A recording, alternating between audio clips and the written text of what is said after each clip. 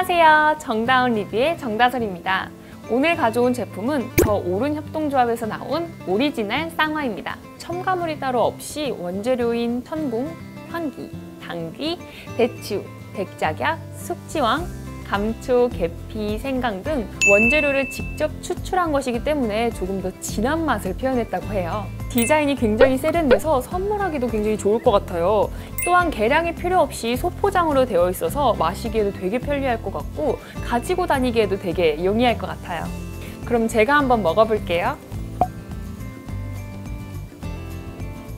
음, 어, 되게 맛있는데요? 이렇게 그냥 먹어도 맛있는데 데워 먹으면 더 깊은 향과 맛을 느낄 수 있다고 해요. 따를 때부터 향이 올라오더니 지금 먹으니까 그 향이 더 깊어지는 것 같아요. 감기 기운이 올 때 쌍화차 한 잔 뜨끈하게 데펴 먹으면 감기 기운도 싹 날아갈 것 같아요.